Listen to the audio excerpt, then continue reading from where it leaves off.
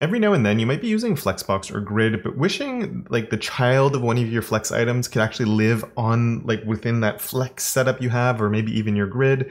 And it just it sort of creates this barrier where you're trying, you know, you have to refigure HTML. Maybe you can't do that. You have to come up with a hacky solution. Well, there's actually a really good way to do this type of thing with display contents.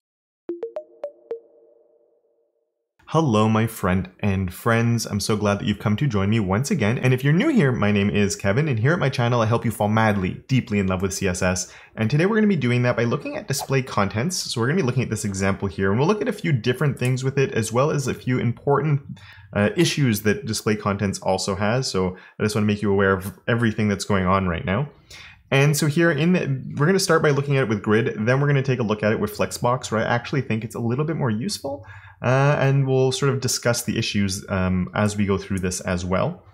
And so, yeah, here we have a grid example. And if we look here, what I've done is I have a grid example, but I have a parent with an image inside of it. And these days, this might not be the most common situation, but it's really going to illustrate how this can work. And then we'll look at, I think the Flexbox version of this, um, as you'll see, what I'm going to do will be a little bit better. But here what I'm going to do on my grid example is I'm going to do a display grid and when we do display grid, nothing actually happens, but we're going to do a grid template columns, and we'll just do a nice simple repeat two 1FR to create two columns. If you're not familiar with grid, don't worry too much. Um, basically, we've just created two columns run right next to each other, and I've linked to grid videos in the description uh, if you want to learn how to get started with it. But uh, yeah, so we have that set up. Now, what I'd really like is this picture to be here and my text to actually be over on this side over here but you know they're nested in here and of course I could add a class to my paragraph and turn that into the grid. This is a bit of a contrived example. I will give you that. Uh, but what we'll now say is grid example. And I guess we could we'll just select the paragraph that's in there. Again a bit of a contrived example. The flex one I think um, or the second one we'll look at. It's a little bit more realistic. But I'm going to do a display contents on here. And watch this. We get two columns. What what's going on here? Uh, let's just add a gap here to make it look a little bit better. And we'll sort of try and explain what's actually happening. And what that is, is now this paragraph is no longer part of, it's not creating a box anymore. You know, with HTML, CSS, it's boxes inside of boxes inside of boxes. The paragraph is no longer creating a box. It is now sort of that the box that the paragraph would normally create, which had the image inside of it, is gone, and now we just have the image and this string of text here. Now here's the first gotcha that comes with that. Because my paragraph is no longer creating a box, I can't do very much to style it. So if I came here and I do background of red, and you got to spell background, right, to actually get that to work, but you'll notice it doesn't actually work because there's no box to put that background on. And so let's just turn off the display content so we can see that the background red does appear. There we go. It's come back into life. Um, but yeah, we really remove some of the styling options we have. And you might be going, well, what about color? Um, and other things like that. That will work because I'm not styling the box. I'm styling the contents that are inside of my paragraph. I'm styling the string of text here instead. Um, so there are, it's not saying you can't use that selector to style things, but you can't style the box. So example, padding, four rem, it's not going to have an impact because there's no box to actually be applying that padding to. The box has vanished. It's a string of text that's here right now, and they're living on this grid that we have right here. So as far as the browser is concerned, there is no p tag here. Uh, basically, even though I can still select it to do things to stuff inside. This weird sort of middle ground that happens. Um, and you might be going, well, Kevin, you know, this seems a little useless. I could just do something a little different there. So let's look at a, a, a, maybe a more realistic example, um, which is going to be with my navigation up here. And it's just a very basic navigation where I have my nav and then I have my UL and I have a logo over here. And this is one of those situations where sometimes we want list items to be able to like live on the nav rather than on the UL, or we're even going to push that a little further. You can see here I've set up a div with a flex row with my logo and my nav in here. And ideally what I'd actually want is I want my nav my logo here to be in the middle of these guys, but I want to keep my UL. I want this to stay the semantic markup that I have here. I want the ordering to make sense. I don't want to just be, you know, changing my markup just so I can get things to look a certain way. And also sometimes you might be working on a site where you can't actually change the HTML. You have to do this just through CSS.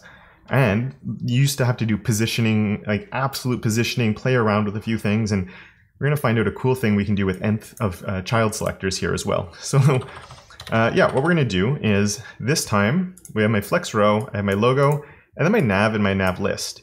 And really, I don't want my nav, from a styling perspective, I want to get rid of my nav and I want to get rid of my nav list. All I want is this, right? So all of them, if I do that, it's going to render in a second here, I think. There we go. Um, so it's not semantically correct because I have list items outside of a list, but this is what I want. All of them going across each other like this, and they're all living on this flex row right here. So to be able to do that, what we're going to do is bring that back in. And the first step, we can choose my nav, and we can do display contents. But that's not enough, because if I just do it for my nav, we still have this UL here. We can actually go another level deeper. I can do comma, and then we can select that, which is my nav list. So then we can do dot nav list. And it's important in this situation, yeah, see it's working. In this situation, I have to do it for both of them. Because if I only did nav list, well, that means these LIs are, you know, from a styling perspective, they're not looking at this UL, but they're still inside this nav parent here. So we really have to, we're sort of saying like, let's pretend like these aren't here. We're removing those boxes. So from a styling perspective, these uh, list items are now living inside of this flex row that I have here, which is just a display flex. There's nothing fancy going on there. And then I get my logo and then I get these guys going across. And now that means it's easy to get my logo in the middle. Because then what we can do is we can select, let's do dot logo, and we can change the order of this. And I'm going to talk about changing order in a second, but let's do order two, and it's going to move it all the way to the other side because we've changed the order. And the default order is zero, so even if this was an order one, it's still going to go to the end here. Uh, but we're going to say, or I guess we, yeah, we'll go, we'll do order two just to make things a little bit more explicit. Now what I want is my home, my about, my services to stay on the left, and pricing, blog, and contact to be on the right of the logo. So this is that cool nth of child uh, or nth of type you can do. And what do we want? We want my nav list li. So let's choose that nav list li. I'm going to say nth of type we're gonna we're gonna just do let's do uh, let's just change the colors actually so we can see what's actually happening here. So on this, let's say background is red and it's not to do anything because we haven't selected anything. And when we do nth of type, we can come here and I can do like 2n and every second one will get a red background. It's like saying second. Or, you know, you could even do a 1n plus 3 or something. You can do these weird combinations here. And so one, or actually 1n is kind of useless in this case. We can say, so like start at the third one. So one, two, three, and then choose every second one or things like that. You can do some interesting stuff with this. But interestingly, you can't just do n. And this, I guess, is the same as 1n. And n on its own is select everything. Kind of useless, right? But let's say n plus 4. Had to think about it there. Uh, and it's going to select the fourth, the fifth, the sixth, and seventh, eighth, ninth, tenth. It's selecting every item after the fourth one.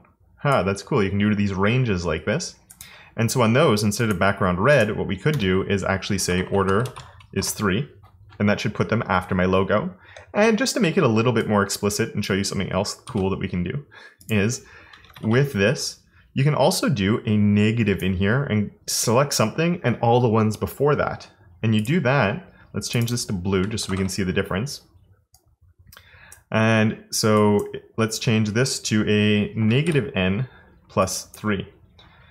And what that's saying is starting at the third one, and let's change that order to 1.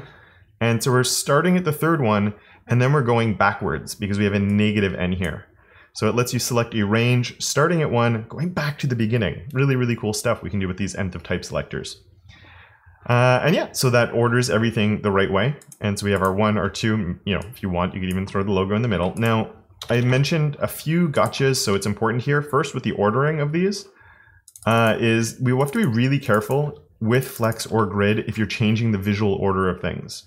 Because it can throw things out of whack. There are a lot of people who use keyboard navigation. There's Vim users, there's other people who do it for disability reasons, there's other people who do it just because it's faster. And if you come here and I tab along, right now, if I hit tab again, it's going to the fourth one because we've kept everything in the same order that they are. So that's perfectly fine. There's no issue with that at all. We just have to be really careful with it. And if my logo was also a link, I'd have to be very careful because my logo right now is the first one here. And so I tab home about services, I'd hit tab again and if I tabbed, it would actually start at my logo, then go to the home and go this way, and then jump, and then you know it, it would create this weird sort of moving around type of thing. So just be very aware uh, of that if you're setting this up, and I would suggest not making the logo a link if it's in the middle, and of course you'd have your home over here. So just something to be aware of because the tab order shouldn't get disrupted and cause these weird changes of directions that are unexpected. There is another concern with display contents um, as well, which is a bit of a problem, especially in this use case that I'm using it for here. Um, and it's a bug that has been in all the browsers and it seems to be fixed now. Uh, WebKit has just, as I'm recording this, it was just a few days ago that WebKit, it, they marked the bug as uh, fixed. I haven't had a chance to test it there, but but what that bug was, and this was in Chrome and in Firefox. If you read more about this, you might hear about accessibility issues, but they have been patched in Chrome and Firefox, and it appears now as well in Safari. And what the issue is, when we would use display contents, the accessibility tree would actually remove the items. So it would, in this case, because I'm doing a display contents on the UL, this is no, it would not see the UL in the accessibility tree. So it wouldn't see it as a list. And that means if it's reading it out loud to a screen reader, rather than announcing this as a list with six items in it, it would actually announce it as part of my header because of how I have it set up. It was this really weird sort of thing going, oh, I'm at header, home link, or you know, something like that. Um, and that's kind of a weird behavior that you wouldn't really be expecting. So just be very aware of the potential impact that it could have um, but it does seem that we're going in the right direction and it should start becoming something we can start using in our sites. Now, if you liked this selector that we use to pull it off with our nth of type and you'd like to learn more about other selectors and other cool things we can do in CSS, I have a video right here that I think you'd really enjoy. And with that, I'd like to say a very big thank you to Jan, Johnny, Stuart, and Tim, who are my supporters of Awesome over on Patreon, as well as all my other patrons for their monthly support. And of course, until next time, don't forget to make your corner of the internet just a little bit more awesome.